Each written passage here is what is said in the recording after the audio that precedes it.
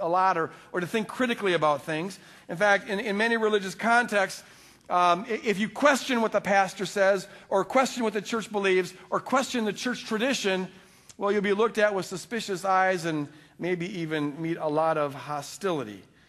Uh, that is not our attitude here at Woodland Hills Church. Just want you to know that. Uh, we don't think that God asks us to check our brain at the door when we come in. In fact, what I see in Scripture is that God encourages us to think. That's one of the ways we worship God with all of our mind. And you'll find heroes throughout the Bible who, who wrestled with God and they questioned God and they questioned things. And I don't think God is offended by that. I, I think in some ways that can be a sign. Some people think that questioning is the opposite of faith, and I don't think that for a moment. Sometimes not questioning is a sign that you don't really care. You don't care enough to think about stuff. Uh, and so uh, God is okay with our questioning. And, we're called to be people who are honest. And I think if you're honest and you're a thinking person, you're going to have questions about stuff. We're to get all of our life from Jesus Christ, not from all of our theological opinions, which is important because if you're getting life from being right about everything, including your view of hell, well, then the minute I or anyone else questions it, you're going to get angry. You'll also find that it's impossible for you to learn anything because your life is in believing, is founded in believing that you already know. I know they say that if you want to build a big church, you don't want to cause a lot of you, know, stay away from controversial issues. You don't want to cause a lot of questioning. People don't like to. They've done studies on this. The average person doesn't like to be forced to think a lot. And so you just state things as though everything was clear and unambiguous and, and convince people that what they believe is the truth and that's what they want. And as a matter of fact, I have gotten more than a few emails from people who have told me that they don't like to come to the church anymore because they don't like to go someplace where some of their traditional beliefs are going to be questioned or where they're forced to think and question their traditional beliefs. It irritates them. Which is a great policy if you can assume that everything you've ever been taught is the whole truth and nothing but the truth. Yeah, fine. Well, then you don't have to think about anything anymore. But lucky you, the one person on the planet who got it all in eighth grade in Sunday school class. The rest of us have to wonder about what is true. My working assumption is that the Bible is the inspired Word of God, and I try to get my thought to line up with the, the, the, the, biblical teaching. But I'm not always convinced that what people think the Bible teaches is what the Bible actually teaches. And so it is okay. We got to give each other some slack here. We may agree or disagree, but it's okay to wonder out loud as an honest person with the text. That's not a lack of faith, that's a sign of faith. Now, in this passage, this guy is being tortured. There's no other really way, way of putting it. He's in fire, but the fire doesn't burn him up, it just torments him. He cries out for pity.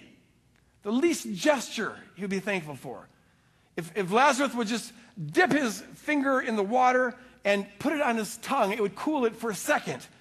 And that's all this guy hopes for. Apparently, his tongue is burning up. He's beyond thirst. He's tortured. He cries out for a little bit of mercy. The text doesn't say this, but the traditional interpretation holds that that exquisite, excruciating torture goes on forever and ever and ever and ever. After 40 trillion, trillion years, 40 trillion epochs, you're no closer to being done with the exquisite torture than you were the first second you began to experience it. That's the traditional view. And this text is among a few texts that have been used to inspire that vision of hell. It's been used to inspire most of the art of, uh, uh, on hell throughout the Middle Ages. You go to some of the old cathedrals in Europe and you'll see some of the most exquisite scenes of hell you can imagine. And some artists painted absolutely uh, nightmarish, ghoulish, macabre pictures of, uh, of hell. I was going to show a few of those, but we decided that they were just too pornographic uh, to, to, to show here. I mean, you got not just the fire and the torture, but you got demons doing terrible stuff to people and eating. Oh, it's just, it's, it's, it's like Nightmare on Elm Street with an eternal vengeance. It's, it's terrible stuff. But here's the thing I mean, that is the, the dominant view of hell throughout the church tradition, and there's some scripture that seems to back that up. That it goes on forever and ever and ever and ever. Uh, for example, in Matthew 25, uh, Jesus says the wicked will go to eternal punishment.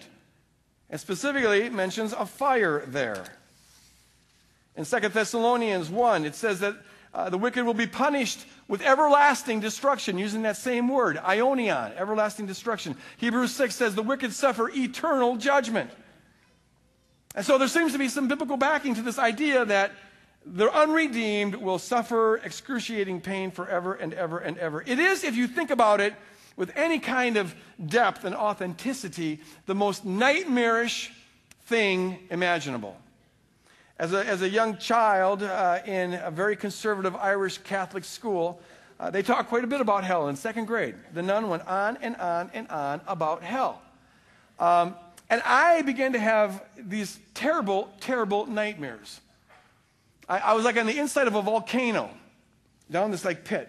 And there's a little ledge that I was standing on. My feet were half off of it, and there, there's nothing to hold on to, so my back was up against the wall. And I'm just trying not to fall down because beneath me, a ways down, is this molten lava, this red, orange. It, it's fire, it's like liquid fire. And I look down there, and there are people that are just screaming bloody, excruciating, you know, murderous things that are just in pain. And I'm terrified. I'm trying not to fall. And then these two demons in typical second grade, you know, picture, the horns and everything, come up and they're laughing at me and they start to taunt me. They start to kind of like push me, trying to get me to lose my balance. And I'm aware that if I fall into that pit, which is inevitable now, I will never, ever, ever get out. And I would wake up and my heart would just be pounding. Was, I, was, I was in sweats. It was, it was just a nightmare. The worst imaginable nightmare. And the question is, that I want to wrestle with here is is that nightmare accurate? Now, what makes this passage even more disturbing is that the guy in hell can talk to the people in heaven, and they can see one another.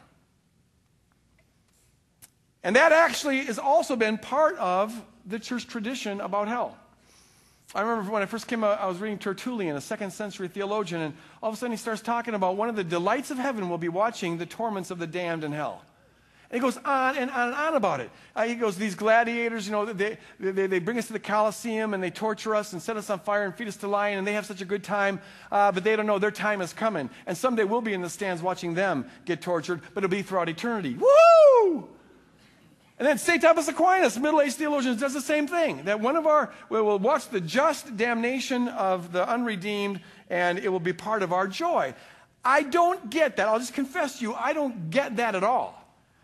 Um, to be able to see this happening, I don't care how evil someone is, how terrible they are, how much you hate them.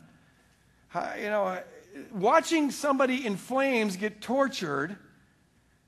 Uh, well, maybe for an hour or two. Okay, fine. Yeah.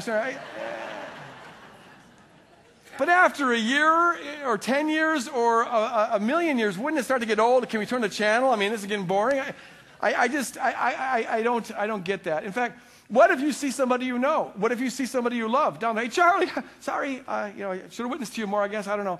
I, I, how can you go on enjoying heaven when right outside your door, just down the block, are people being tortured in flames, being burned alive, but they won't get burned up? That is difficult. And what if it's somebody you love, your child, who didn't make it? And then, I, then there's this. I find that the, the more I grow in Christ, and I'm sure you found it too, the more that you start to not just love your loved ones, but you start to love even your enemies. You start to develop a compassion for everybody.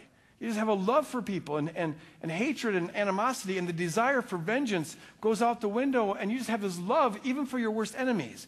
And I'm thinking that in heaven, that will be perfected, right? So in heaven, I'll be loving all of these people. And now I'm really wondering how am I going to sit there and enjoy the banquet supper, the marriage supper of the Lamb, when there's people that I love uh, being tortured. And then I've got to wonder however good however much our love will be perfected god's love is more than that. So he god created them and died for them. So now i got to really wonder how is god going to enjoy heaven while this torture is going on forever and ever? And then it leads to a whole bunch of other questions and i'm just being honest here. I'm just thinking out loud. I think these are legitimate questions. Three other sets of questions that i want to just raise that have to do with the bible. How is eternal punishment consistent with the biblical theme that you find all over in, in, a lot of different ways? That God's anger lasts for a moment, but his love, mercy, and favor last forever. How do you put those things together? God's anger endures for a moment, but his mercy endures forever. If people are tortured forever after they die, it seems to me that the